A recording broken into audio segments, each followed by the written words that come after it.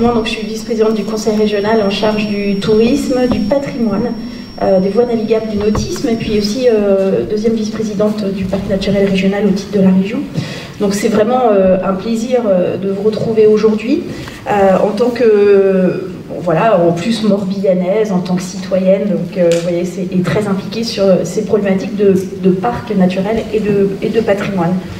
c'est vraiment un, un, moment important, mais c'est aussi un sujet qui est extrêmement important, c'est symbolique presque, euh, et euh, il y a beaucoup d'enjeux euh, que nous allons partager aujourd'hui, des préoccupations actuelles, et pour les élus et pour les citoyens que nous sommes, eh bien, ça, ça, nous engage, ça engage également les associations. Il y en a un certain nombre ici dans la salle.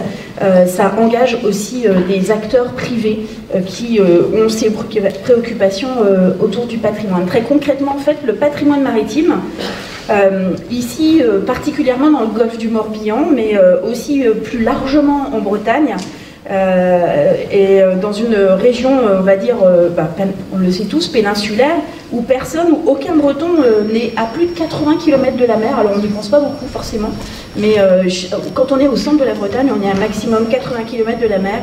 Et en tout cas, ce, patrimoine maritime, c'est vraiment notre culture à tous. Le, littoral breton, euh, on le sait, on le constate régulièrement, euh, fournit d'éléments majeurs ou d'éléments, on va dire, plus modestes, euh, qui reflètent véritablement l'héritage des hommes de, la côte, également qui témoignent de leur activité. Alors il y a des choses qui, sont toujours d'actualité et puis d'autres, bah, l'autre patrimoine qu'on a un petit peu mis de côté ou, qu'on n'arrive pas forcément toujours non plus à l'identifier. Alors je pense, euh, euh, il y a plein de thématiques hein, au niveau du patrimoine maritime. Il y a la signalisation et la surveillance avec les phares, avec les sémaphores, avec les amers. On en a un certain nombre ici, dans le Golfe. Les défenses militaires aussi, qui font partie de notre patrimoine, ce sont les fortifications, les corps de garde, les blocos. Il y a un, vrai sujet, une réflexion sur les blocos. La Normandie a engagé des, appels à projets sur ce sujet. Euh, nous avons bien entendu tout ce qui concerne l'érosion, euh, ou en tout cas la pratique, euh, ou les pratiques nombreuses contre l'érosion. Je parle des murs, je parle des digues aussi. tout ce qui concerne le transit. Donc le transit, ce sont les cales, les quais, les môles, les terre-pleins. et puis, bien entendu, les à la marée, les viviers, qui constituent donc un patrimoine concernant les ventes de produits de la mer.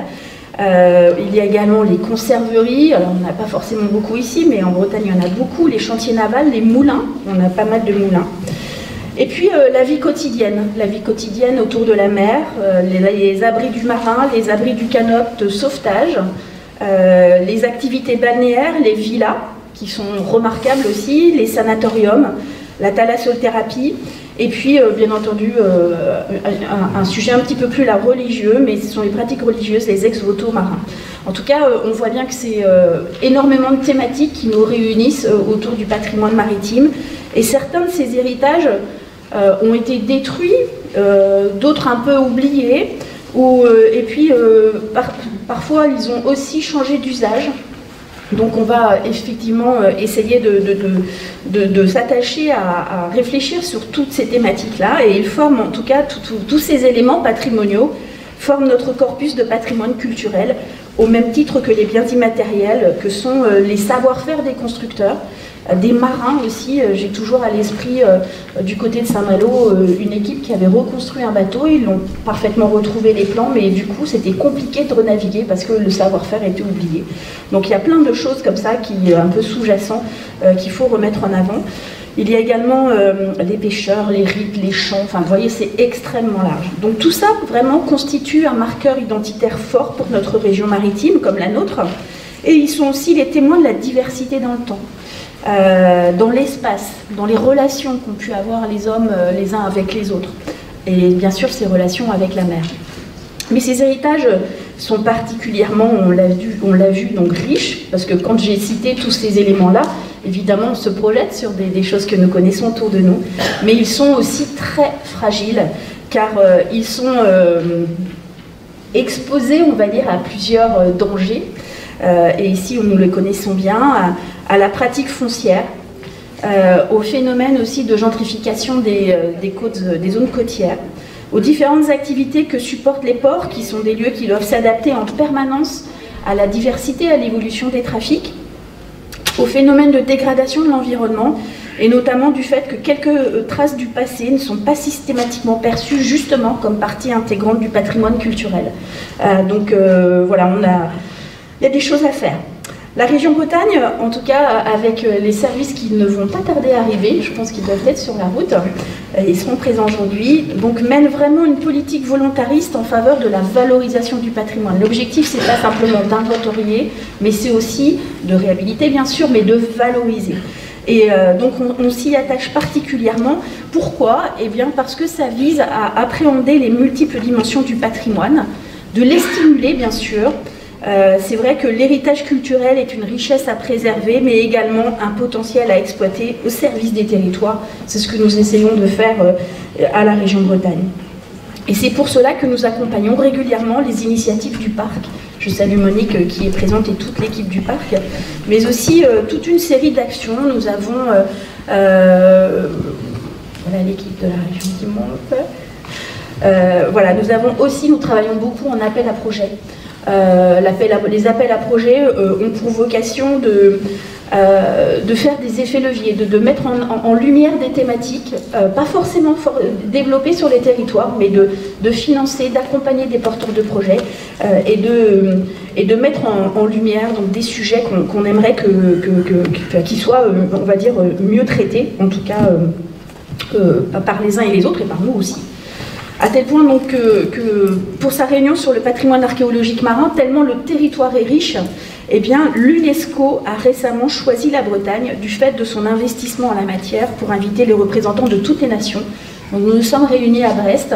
C'était une journée particulièrement extraordinaire où un certain nombre de, euh, collectivités, de chercheurs, de, gens euh, euh, qui œuvrent dans le patrimoine maritime au niveau international s'étaient réunis parce que la Bretagne œuvrait beaucoup sur cette thématique de patrimoine maritime. S'intéresser au patrimoine maritime, c'est, comme vous le ferez là aujourd'hui, c'est important. Je salue donc la, la, qualité et la justesse du programme. Euh, je tenais particulièrement à le dire, qui illustre le sujet. C'est s'intéresser à la culture, à la nature, aux interstices et aux relations euh, fécondes et parfois euh, ou souvent complexes qu'entretiennent les concepts de nature et de culture, mais c'est aussi s'intéresser à la dimension humaine du patrimoine, des savoir-faire, sans quoi le patrimoine ne deviendrait aussi qu'un décor.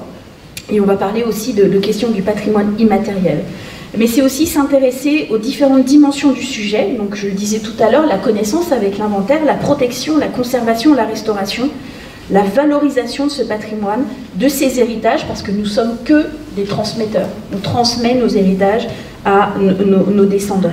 Et cela doit se faire vraiment en embrassant la complexité du sujet. Vous avez vu qu'il était extrêmement vaste, c'est-à-dire en ayant une approche complètement intégrée de la gestion du patrimoine. La question de cette gestion intégrée du territoire et du patrimoine est une autre façon aussi d'illustrer la question du développement durable, qui est dans nos préoccupations permanentes. Et dans les délégations qui sont les miennes à la région, en qualité de vice-présidente, je travaille avec les équipes, je salue Laurence Dubourg qui est arrivée, euh, afin de faire en sorte qu'un positionnement clair, mais aussi responsabilisant soit visé. Et nous avons euh, mis en œuvre euh, deux, mots euh, qui, vont être notre trajectoire dans les, dans les années à venir, c'est identité et transition. Identité et transition, et de cette façon, l'identité perçue dans une acceptation ouverte et dynamique, bien sûr. La culture, le patrimoine doivent être des gages d'inspiration, mais aussi, euh, on va dire, des garde-fous à nos développements. De la même façon que notre patrimoine culturel et les activités touristiques doivent être pensés dans une approche de développement, et euh, on ne veut pas tout mettre sous cloche. Et, être aussi des outils pour penser et traiter le sujet des transitions, qu'elles soient euh, sociétales, économiques, environnementales et méthodologiques aussi. Donc les savoir-faire ensemble. Et c'est cette trajectoire, donc, euh, comme je vous le disais, que nous avons décidé en Bretagne.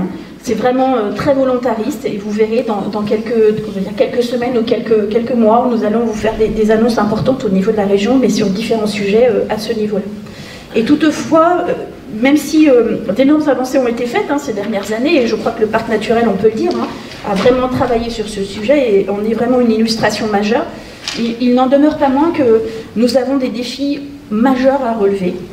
Et euh, je compte sur vous euh, euh, aujourd'hui pour que cette journée d'ailleurs soit, soit fructueuse, soit riche en partage, en enseignement, en pistes, en espoir aussi, pour que justement nous puissions ensemble penser et construire notre avenir en préservant le patrimoine, notre patrimoine commun, celui des générations futures aussi, et surtout à le valoriser comme il se doit. Donc merci beaucoup à l'équipe du parc d'avoir organisé cette thématique, et évidemment la région Bretagne accompagne le le parc sur ce sujet et euh, j'espère euh, voilà, qu'on aura d'autres moments de rencontre comme celui-ci en tout cas euh, qui fait justement que tout le monde puisse se réunir auprès de, de sujets aussi importants pour notre avenir. Merci beaucoup.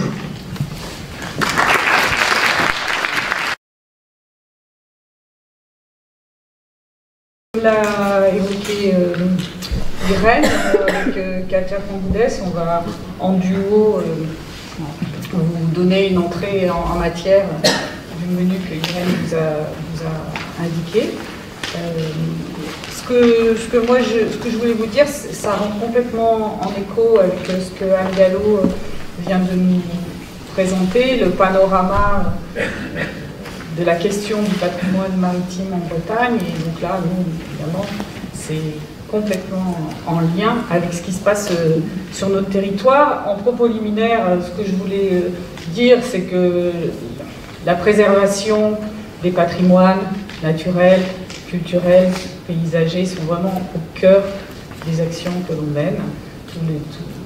Tous les, programmes d'action que l'on mène sont, tissés de cette question-là. Et que la manière dont on construit les démarches c'est vraiment euh, ce que Anne a évoqué, c'est de la gestion intégrée de la mer et du littoral pour notre territoire qui est un territoire éminemment euh, maritime et que ce travail il se fait euh, par les savoirs scientifiques, par les savoirs empiriques, par l'interconnaissance entre les acteurs locaux, par la compréhension mutuelle. En fait, c'est tout un, un, tissage assez long et assez subtil qui permet de, passer de, d'une communauté euh, euh, d'usage, de pratique sur un territoire à construire des objectifs communs et après aller vers des communautés d'action. Et c'est aussi l'objet euh, de cette journée que nous avons aujourd'hui. Alors, simplement, je voulais juste évoquer les principaux chantiers qui sont en cours au parc en ce moment et qui relèvent de la question du patrimoine maritime. Euh, depuis la création du parc, euh, nous conduisons un, inventaire du patrimoine culturel immatériel qui est euh, focalisé sur les, savoir-faire locaux, les savoir-faire dits traditionnels. Et parmi les différentes fiches d'inventaire qui ont déjà été élaborées, il y en a plusieurs qui concernent la mer. Il y a un travail qui a été fait sur les passeurs du Golfe, euh, qui existent toujours aujourd'hui, mais qui sont sous une autre forme qu'il que y, y a plusieurs, euh, plusieurs dizaines ou même centaines d'années. Euh, il y a un travail qui a été mené sur la pêche à la palourde, qui est quand même une activité très spécifique et, sur le golfe du Morbihan, qu'elle soit à pied ou, embarquée. il y a également une fiche qui a été réalisée sur la pêche à la morgate, qui est aussi une activité professionnelle maritime bien spécifique de notre territoire. Et puis cette année, on a engagé un travail sur les savoir-faire muraillés. Alors, bien sûr, c'est les murets en pierre sèche qui forment euh, les bords de champ, le bocage, etc. Mais aussi, euh, Anne l'a évoqué, ce sont aussi euh, les terre-pleins, les cales, les digues, les murs maritimes qui vont être, qui vont être identifiés euh, dans le cadre de ce travail sur euh, les savoir-faire muraillés. Donc ça, c'est un des chantiers qu'on a démarré depuis la création du parc. Et puis, euh, il y a un autre, un autre gros chantier qui est ce qu'on appelle par notre acronyme MELOM, mémoire, même moi je ne sais pas, mémoire locale de l'environnement marin. et donc ce travail, c'est un travail ethnographique euh, qui a été conduit pendant, euh, pendant plus d'une année où ça a été l'occasion de collecter le, récit de 43 femmes et hommes professionnels de la mer. Alors quand on dit professionnels de la mer, ce sont des pêcheurs embarqués, des pêcheurs à pied et euh, des ostréiculteurs. Je n'ai pas féminisé, mais on peut mettre au féminin. Euh, donc euh, il y a eu ce, travail qui a été mené donc d'une approche vraiment ethnologique et qui a permis de, de dégager l'histoire et surtout l'évolution de ces métiers et comment les professionnels ont eu des capacités d'adaptation à faire évoluer ces, métiers. Il y a un focus très spécifique sur la place des femmes dans, ces professions. Et puis, euh, ce qui a été mis en exergue aussi, c'est euh, euh, les, savoirs de l'expérience de ces professionnels et la manière dont ces savoirs sont transmis. Et un dernier point très important, c'est que ces, acteurs sont en permanence sur l'eau, dans l'environnement marin. Ce sont des véritables sentinelles euh, et euh, leurs observations sont très intéressantes en termes de bah, érosion de la biodiversité, qui est quand même un de nos fils rouges, euh, effet dû au changement climatique. Donc, il y a les panneaux d'exposition dont Irène a parlé, il y a aussi le recueil. C'est vraiment une, approche nouvelle pour nous, hein, qu'on a conduit avec le soutien scientifique de Katia, et qui a été réalisé par un, ethnologue, et qui a pu être mis en œuvre parce qu'on a monté un partenariat avec le comité départemental des pêches, le comité régional de la conchiviculture. Il y a eu un travail avec les, des élèves et les enseignants du lycée professionnel maritime d'Etel et surtout euh, un, soutien financier du fonds, euh, du fonds pour la pêche, du FEAM, du fonds européen et de la région Bretagne. Et puis le dernier chantier, mais je ne vais pas trop m'y attarder parce que Irène en a beaucoup parlé finalement dans son introduction, c'est l'inventaire du patrimoine euh, bâti maritime qui a commencé en 2016. Et simplement pour dire que cet inventaire, euh, il est réalisé, non pas uniquement en tant qu'inventaire, mais il est réalisé en prenant en compte l'environnement paysager, les pressions anthropiques, les effets du changement climatique, notamment les risques côtiers de submersion et d'érosion pour vous dire que c'est vraiment, dans ce travail qui est conduit, c'est vraiment une approche euh, croisée euh, des enjeux et pas simplement euh, un, répertoire des éléments de patrimoine qui sont identifiés. Et la manière dont l'inventaire aussi est conduit, il est, mis en lien avec d'autres actions que le parc mène, notamment la gestion du sentier côtier, le tourisme durable, la mise en place des repères de submersion marine, et puis euh, les trames naturelles, justement, pour ce lien entre euh, culture, patrimoine et euh, nature. Donc Irène l'a dit, il y a eu 470 kilomètres de côtes qui ont été arpentés, 900 éléments qui ont été recensés, et il reste trois communes inventorié sur les 22 communes littorales du parc. Une dernière chose, le constat quand même, c'est que ce patrimoine, il ne bénéficie pas beaucoup de protection, très peu en fait, et que c'est quand même un patrimoine euh, du quotidien, un patrimoine qui est menacé, qui pour partie disparaît. Donc euh, il y a quand même un, enjeu euh, à s'y pencher et à, hiérarchiser à trouver euh, les, bonnes modalités de, gestion.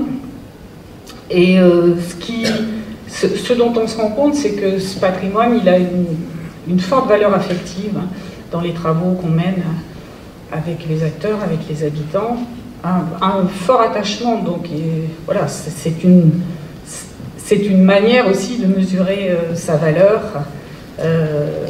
on s'en rend aussi compte lorsque on fait des restitutions aux communes, lorsqu'on organise des causeries, lorsqu'il y a des expositions, lorsqu'il y a des événements qui sont dédiés au patrimoine maritime, il y a une forte mobilisation euh, locale.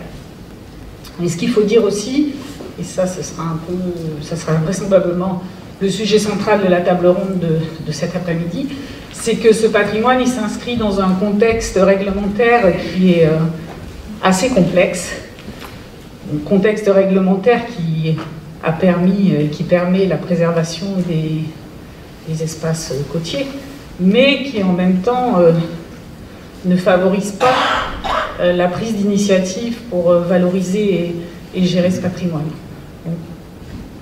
Voilà, la table ronde de, cet après-midi euh, permettra certainement de donner, des, de donner des éclairages sur cette question. Je vais passer le relais à Katia, qui, elle, va vous compléter euh, ce que je viens de vous dire, parce que les démarches qu'on conduit ont été intégrées dans un projet européen de recherche, et euh, on nourrit ce projet de recherche, et en même temps, le projet de nos recherches a nourri les actions qu'on mène et complète euh, aussi la coopération entre l'Université de Bretagne occidentale et le parc euh, qui a commencé depuis très très longtemps. Donc, euh, le projet Pericles, c'est un projet de recherche financé par les programmes européens H2020, qui arrive aussi à son terme là. Et sous l'axe patrimoine culturel européen. C'est-à-dire l'Union européenne a considéré qu'il était temps de donner quelque part et impliquer la parole aux citoyens européens pour euh, identifier, et conserver, gérer et développer de l'emploi localement. Et donc, euh, c'était un appel euh, dans ce sens-là. Et donc, il y avait beaucoup de choses sur les risques côtiers et la réponse que la société peut donner à ces risques.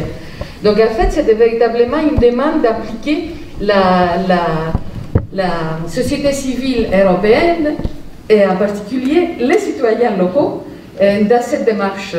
Donc en fait, c'est un projet qui a duré 41 mois, impliqué 8 pays, donc euh, Grèce, Malte, Portugal, France, Pays-Bas, euh, Danemark, Royaume-Uni et l'Estonie.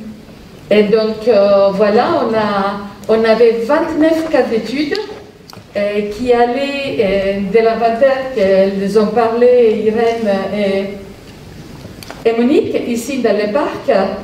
au niveau breton, on avait toute l'histoire de l'activité de la pêche et de la cochiniculture, d'où le travail complémentaire qu'on a fait avec Juliette sur cette question-là dans, dans le golfe. Et on a aussi les, algues, l'activité algues, et pas seulement le patrimoine naturel algues. L'activité algues en Bretagne, d'ailleurs, une des photos à la fin du diapo précédent, elle était du Finistère Nord. Et, donc, euh, on a, les autres collègues ont travaillé sur la gastronomie, par exemple, euh, en Portugal, ils ont beaucoup travaillé sur, euh, sur la morue qui, n'est pas de chez eux, mais qui est un plat traditionnel. les Danois ont travaillé sur des bateaux et la construction d'un bateau viking qui arrivent à la fin, euh, vu que la politique commune de pêche ne permet plus leur utilisation. Et donc, euh, l'objectif du projet était de développer en fait une compréhension approfondie de ce patrimoine maritime couvrant à la fois les patrimoines matériels et immatériels, d'où le fait que c'est occupé pas mal des activités. Et, développer des outils basés sur l'application des parties prenantes et la gouvernance participative. En fait, pour l'Union, l'objectif était de développer ce qu'on appelle les sciences citoyennes, D'où le fait qu'on a créé un portail sur lequel on peut ajouter les patrimoines. Chaque citoyen peut mettre son patrimoine à lui sur ce portail qui est accessible en ligne. Et par ailleurs, donc, euh, c'était cette partie de la gestion euh, du patrimoine, de la conservation de la gestion du patrimoine. Et surtout, euh, comme Monique vient le dire à la fin, la journée est est construite sur cette base-là aussi. C'est l'intégration du patrimoine culturel maritime dans les politiques européennes et locales et nationales. plutôt avec une intégration du patrimoine dans nos politiques, et en particulier la planification de l'espace maritime, par exemple, ou la gestion intégrée, comment, comment fait-on pour conserver et garder ce patrimoine et notre, On avait une grille d'analyse qui partait donc euh, espace lié identité. On a travaillé pas mal sur cette question avec euh, Jacques Mendec à Locmariaquer et les habitants de Locmariaquer. Et risque, résilience et adaptation, pareil à Locmariaquer où les parcs avaient déjà une grande action. Et effectivement, le troisième pilier sur lequel on a travaillé, c'était participation, délibération gouvernance. Toujours à Locmariaquer.